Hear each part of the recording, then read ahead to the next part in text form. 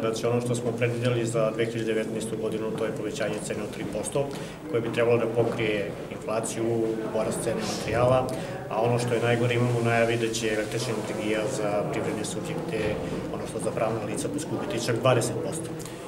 To jeste veliki raskorak, tako da tih 3% teško da će pokriti, kažem, ako dođe do povećanja cene električne energije.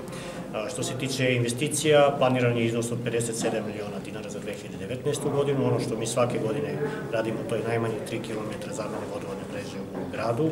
Predviđeno je 21 milion dinara za, za tu namenu. Opet, naravno, da ćemo raditi u selima, desetak miliona će biti odvojeno za sela, govorimo za selo gde ćemo takođe menjati i vodovodnu mrežu.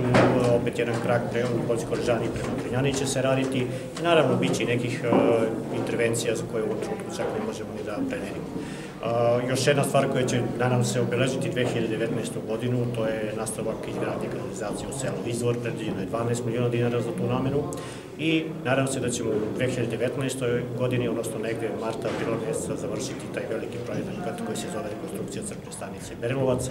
Prednost čitavog projekta je milijon i 600.000 evra, do sad, ako gledamo po situacijama, realizovano negde oko milijon i 200.000 evra. To su najvažnije, najkrupnije stvari koje će se dešavati u 2019.